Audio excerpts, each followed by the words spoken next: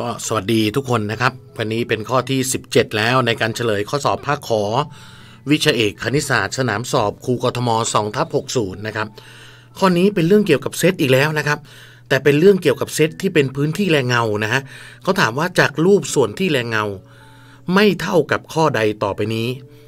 ถ้าน้องจำได้นะครับ พื้นที่แรงเงาอาจารย์ได้พูดไปแล้วรู้สึกจะเป็นข้อต้นๆด้วย พูดไปแล้วว่าการทำพื้นที่แรงเงาเนี่ยจะต้องให้เลข มันมีการตัดใช่ไหมครับ วงกลมจะมีการตัดออกเป็นพื้นที่ อย่างอันเนี้ยจะมีพื้นที่ทั้งหมดเจ็ดส่วนนะครับ ไม่รวมพื้นที่ข้างนอกเนี่ย จะมีพื้นที่ 1 2 3 4 5 6 7 พื้นที่ออกการตัดรูปเนี่ยจะออกเป็นทั้งหมด 7 ส่วนนะครับ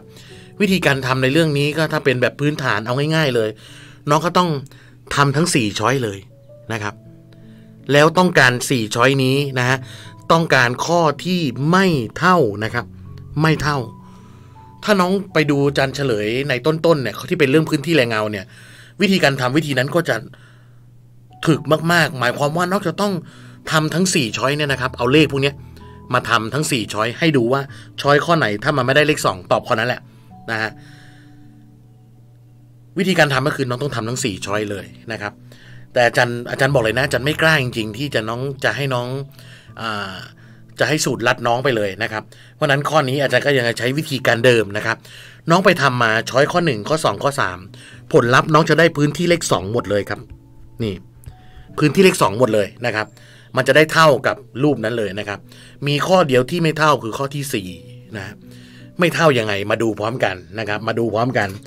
ข้อที่4 B อะค่อยๆทำพร้อมกันนะ B B ของเราจะได้เลข 2 เลข 3 เลข 4 เลข 5 เลข 2 เลข 3 เลข 4 เลข 5 ต่อไป A union C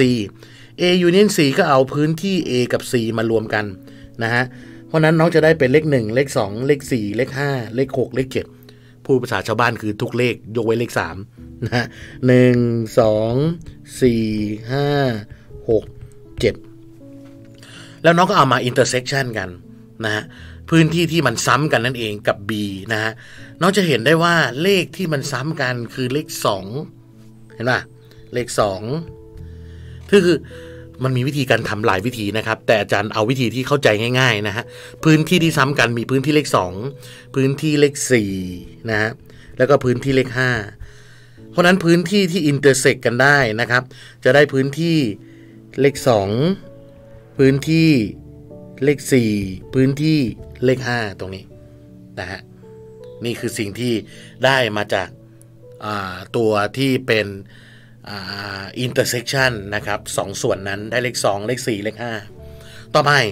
ทางด้านถัดมาทางขวามือน้องจะได้เป็น A intersect B intersect C ถ้าไปน้องไปทำตรงๆมาน้องก็ได้จะได้เลข5นะครับ A sect B sect C คือพื้นที่ที่ซ้ำกันตรงกลางตรงนี้พื้นที่สีเหลือง น้องจะได้เลข 5